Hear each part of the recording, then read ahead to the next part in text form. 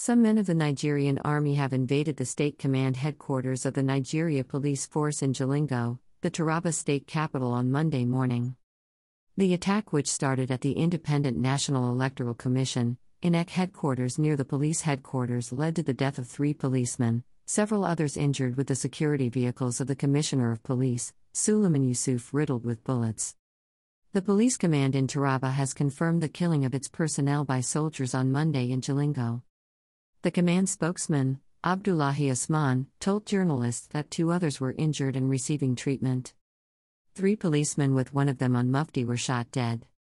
According to News Agency of Nigeria, NAN, the police spokesperson, Abdullahi Usman said an investigation would be conducted to ascertain the real cause of the incident. The Commissioner of Police, Yusuf Suleiman, and the Commander 6th Brigade, Brigadier General Frank Edom, have met, discussed, and agreed that a commission of inquiry is set up to look into the real cause of this incident, he said.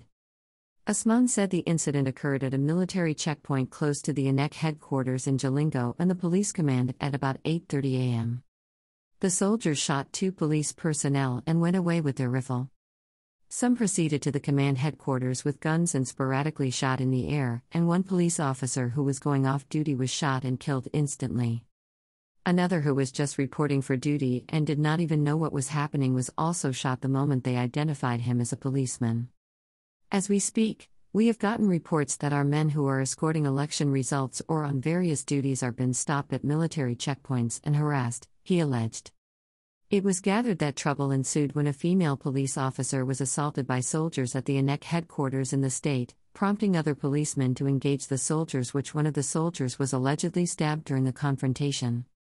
A closed door meeting between heads of security agencies held at the Department of State Service headquarters, the Commissioner of Police, Yusuf Suleiman, who read their resolution on behalf of others, regretted the incident but assured of discreet investigation to unravel the root cause of the matter.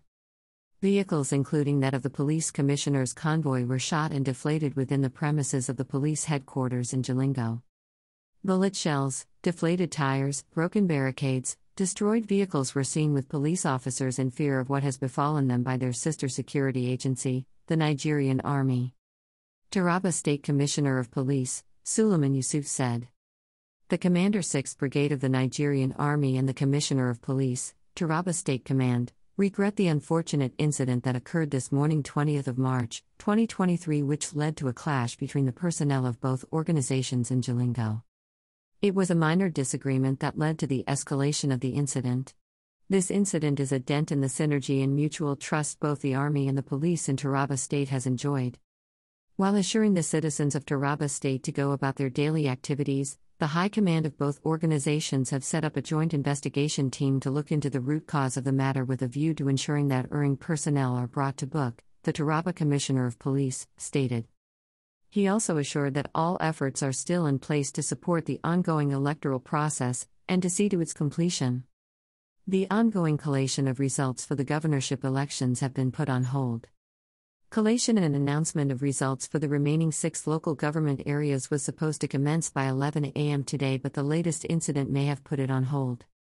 Greater than the clash was alleged to have escalated when the army personnel's posted to INEC headquarters in the state beat up a woman police whom they stopped for identification. Greater than. Greater than Eon's intelligence, at Eon's intelligence, March 20, 2023. Greater than just in. Three policemen feared dead in Sabangari area of Jalingo, Taraba State following a violent clash that ensued between the army and police at about 0915 hours, March 20, 2023. Hashtag YorubaPic.twitter.com slash A1P98Setim. Greater than. Greater than Peter Obi for President, at Amazion 1, March 20, 2023.